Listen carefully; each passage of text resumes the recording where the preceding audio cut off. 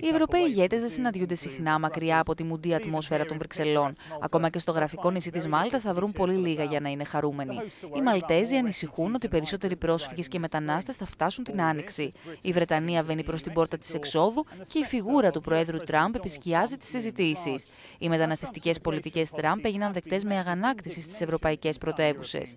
Η Μάλτα θέλει αναχέτηση των ροών από Λιβύη και η Ευρωπαϊκή Ένωση εξετάζει αν θα στέλνει ανθρώπου ανθρώπους πίσω εκεί.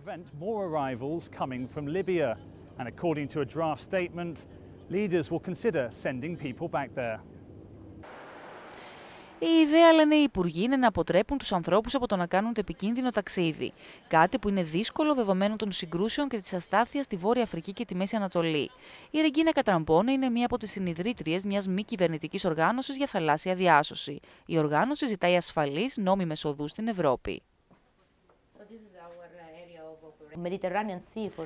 Η Μεσόγειος για μένα ήταν πάντα μέρος διακοπών και χαλάρωσης. Τώρα γίνεται τάφος γιατί πολλοί άνθρωποι που φεύγουν για να γλιτώσουν από πολέμους και διώξεις, αναζητώντας μια καλύτερη ζωή. Δεν είναι απλώς το άτομο που πνίγεται στη θάλασσα. Εάν τους αφήνουμε να πεθαίνουν, πεθαίνουμε μαζί τους. Η ανθρωπότητα πεθαίνει μαζί τους. we are dying with them. Our humanity is dying with them. Στοιχεία των Ηνωμένων Εθνών δείχνουν ότι περισσότεροι από 1.700 άνθρωποι έκαναν αίτηση για άσυλο στη Μάλτα πέρυσι. Η πλειοψηφία είναι από τη Λιβύη, τη Συρία, την Ερυθρέα και τη Σομαλία.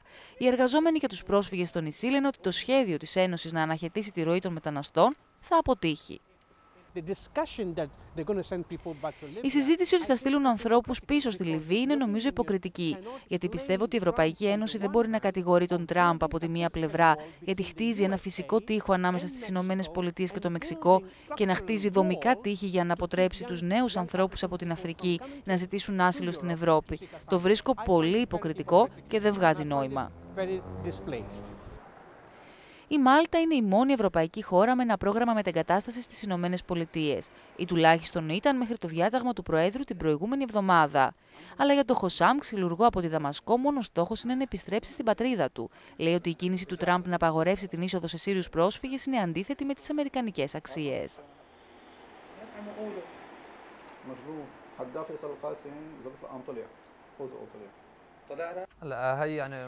Η Αμερική είναι μια χώρα της ελευθερίας. Ο Τραμπ με αυτό το βήμα τα χάλασε όλα. Υπάρχουν χριστιανοί στη χώρα μας. Υπάρχουν μουσουλμάνοι στη χώρα του Τραμπ.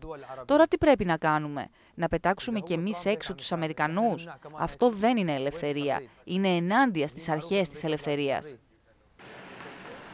Αλλά με μια σύγκρουση σε εξέλιξη στη Συρία αλλά και την ευρύτερη περιοχή θα χρειαστεί πολύς περισσότερος χρόνος από μια σύνοδο κορυφής για να αντιμετωπιστεί η κρίση.